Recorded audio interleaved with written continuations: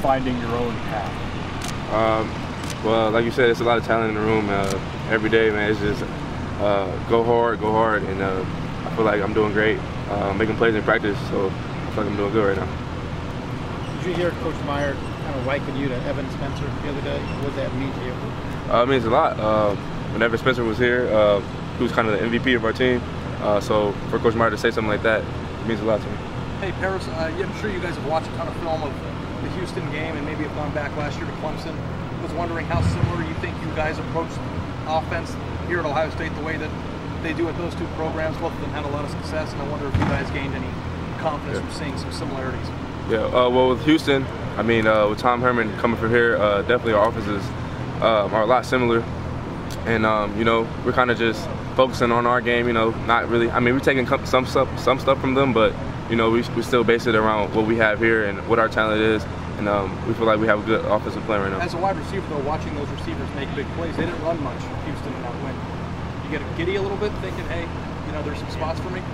Uh, yeah, definitely. Um, just to see those guys make big plays, obviously, uh, you know, catches my eye and catches other guys in the room eye, and um, you know, we kind of just watch the DBs, uh, watch their tendencies, and uh, so we can get a uh, step ahead when we're, on Saturday. Is there any added pressure with that as a wide receiver? I mean, I don't think it's added pressure. I just think it, it comes with the, you know, the territory. Uh, being a receiver at a top premier school like this, you know, you got to be ready at all times. So on Saturdays, you can make plays. A couple of your teammates have said coaches have been noticeably different in practice this week just because of the game. Have you noticed that? Yeah, definitely. Uh, like the, the intensity in practice has definitely turned up. Uh, prepar- preparation has turned up. Uh, we got a slogan around here: the most prepared team will win this game, and uh, that's definitely true. Uh, this is a big game for us. You know, uh, we got to be uh, prepared on Saturday. Is there a moment in practice you can think of that just kind of drove that point home?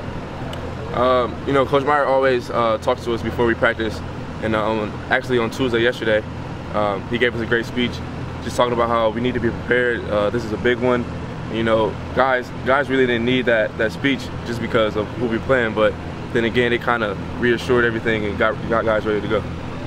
With all the hype that came in surrounding Oklahoma and quarterback Baker Mayfield, you know, as prolific as their offense was supposed to be, is there kind of an attitude around, you know, with you guys in your room, in the locker room, that you really want to go down there and show exactly how good this offense is as well as at Ohio State? Um, yeah, no doubt.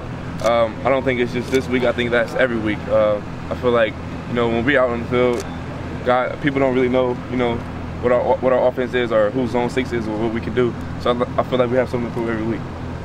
Parris, when we would talk to Coach Meyer last year, he would always talk you up. I mean, he still talks you up, but he always said it was frustrating that you were hurt last year. He said you were going to be a very good player once you got healthy. Was last year frustrating for you, or was it nice knowing you're a redshirt freshman and the head coach is talking you up?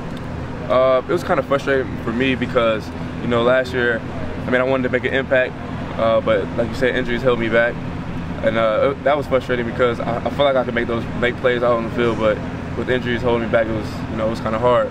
But um, for him to be talk, talking about me how, how he does, um, it definitely keeps me you know my head held high and uh, keep keeps me positive. In your role right